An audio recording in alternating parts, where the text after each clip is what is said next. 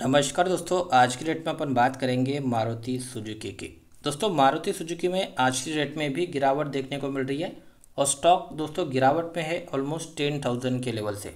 Lower low pattern बना रहा है नाइन थाउज़ेंड सिक्स हंड्रेड के सपोर्ट से छोटा मोटा जंप आया अगेन नीचे की ओर ब्रेक डाउन तो अभी फ़िलहाल तो स्टॉक गिरावट में है, और गिरावट यहाँ से दिखा सकता है, लेकिन बड़ी अपॉर्चुनिटी रहेगी, आखिरी मौका रहेगा। अगर यहाँ से नाइन थाउज़ेंड तक अगर स्टॉक गिर जाता है तो एक बड़ी अपॉर्चुनिटी बनेगी, क्योंकि ऑटो स्टॉक जो भी है दोस्तों, आप चेक कर लीजिए, सभी में ऑलमोस्ट ब्रेकआउट देखने को मिला है। लेकिन मारुति सुजुकी एक ऐसा स्टॉक है, जो ऑलमोस्ट ब्रेकआउट तो दिया था, लेकिन अभी तक उतना अच्छा मोमेंटम देखने को नहीं मिला है। आने वाले दिनों में बड़ी तेज़ी यहाँ से मारुति सुजुकी दिखा सकता है। एक मौका बनेगा इस गिरावट के साथ खरीदारी का। तो अभी तो फ़िलहाल दोस्तों गिरावट में है स्टॉक लोअर लो पैटर्न बना रहा है। नाइन थाउज़ेंड फोर हंड्रेड के नीचे ब्रेकडाउन देता है अगेन तो यहाँ से नाइन थाउज़ेंड तक का फॉल दिखा सकता है। नाइन थाउज़ेंड के लेवल से दोस्तों आपको बड़ी तेज़ी यहाँ से मारुति सुजुकी में देखने को मिलेगी।